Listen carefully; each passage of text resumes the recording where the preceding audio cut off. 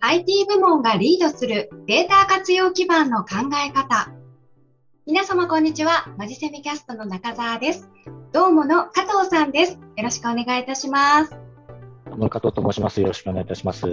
そしてどうもの佐々木さんです。よろしくお願いします。よろしくお願いいたします。どうもでは、えー、IT 部門とビジネス部門の連携が、えー、薄い課題をあ解決するために、えー、データアンバサダーという役職を推奨しています。まずデータアンバサダーという役割あ役職はですね、置く目的としては、データ活用を失敗させないためです。データアンバサダーの役割としましては、えー、DX の推進、データドリブンなビジネス環境の実現、データ活用に向けた企業文化の情勢に責任を持ちます。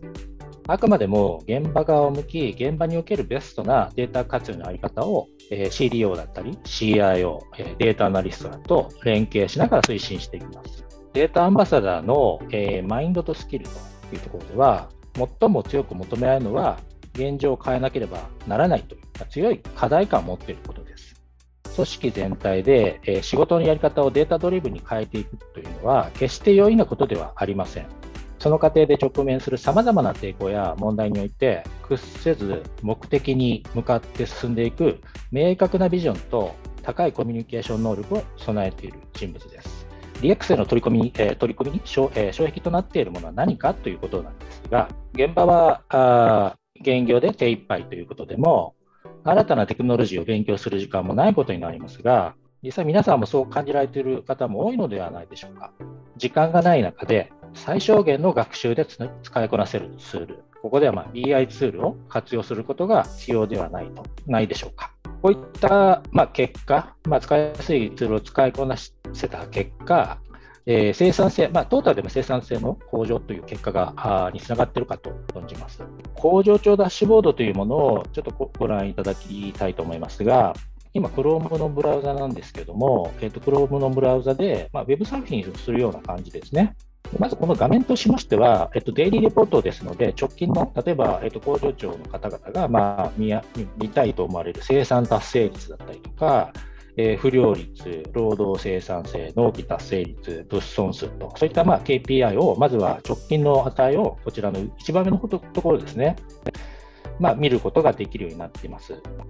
はいでまあ、トレンドで、まあ、あの生産達成率を、まあ、見見ていくことができますというところで、例えば埼玉だけちょっとフィルターをして見てみましょうといったところでは、埼玉だけ切り出してこう見ていくということができるようになっています。で次に、まあ、納期は、えーと、守られているのかといったところと、まあ、これもあのトレンドでちょっと,、えーと見ていくことができるようになっています。じゃあ92%ちょっとこれはまずいなというところで、埼玉の工場長にですね、えっと、ここから、えっ、と、こちら見ていただければ、注釈というのが機能があります。これちょっとあの埼玉工場長にあのどうなってるのかちょっと確認をしたいと思います。でここであのどうものバズというチャット機能なんですけども、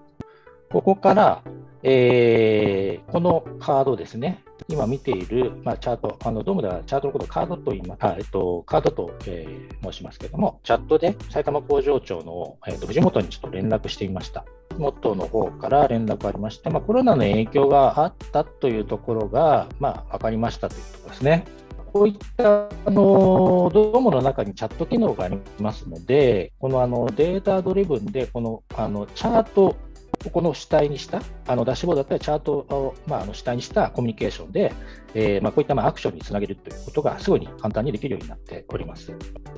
例えば、達成率が、まあ、あるある数値を上回ったりとか、下がったりとか、そういったときに通知、アラートの通知をもらいたいといったこともあるかと思いますので、今、まここで、えーと、定義されているものに関しては、えーと納期達成率がえーと、90%よりも小さくなった場合に、えーと、アラートの通知をもらいたいという設定をしております。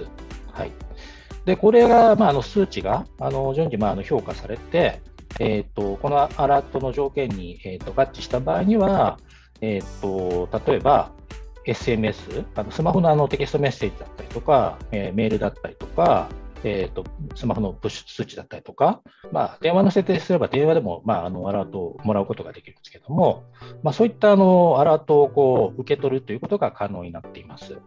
でデータを取り込む際にはですね、一番上にアイコンがいくつか並んでおりますけれども、この中のデータというアイコンを使ってデータを取り込んでいきます。でデータを取り込む際にはですね、ここの上にある5つの機能を使っていくんですけれども、今回はボックスにあるファイルを取り込んでみたいと思いますので、その場合ですね、一番左側にあるコネクターというこちらの機能を使っていきます。で、この検索ボックスですね、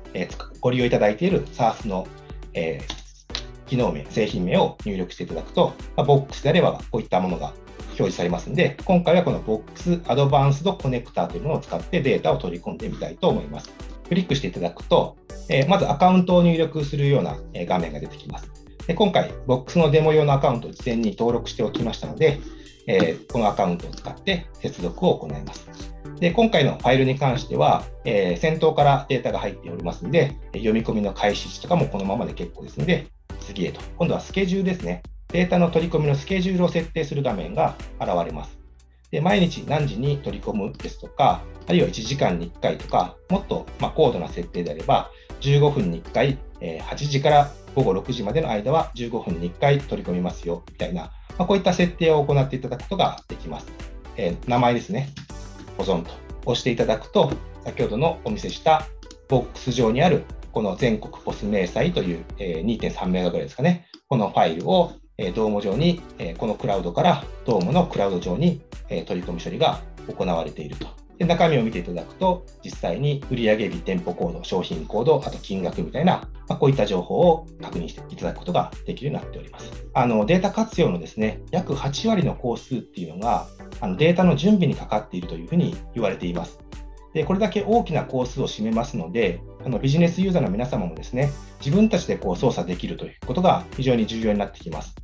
でどうものですね、このデータ加工に関しては、SQL ベースのものの他に、GUI ベースのものも用意されておりますので、ま、システム部門の方だけではなくて、あのビジネス部門の方もですね、ご自身でデータの加工処理というのを作成することができます。あの昨年のですね、藤木メラ総研様の調査によると、あの国内の、えー、SARS 型の BI 市場で、えー、ナンバーワンの評価を受けております。えー、本日もご清聴ありがとうございました。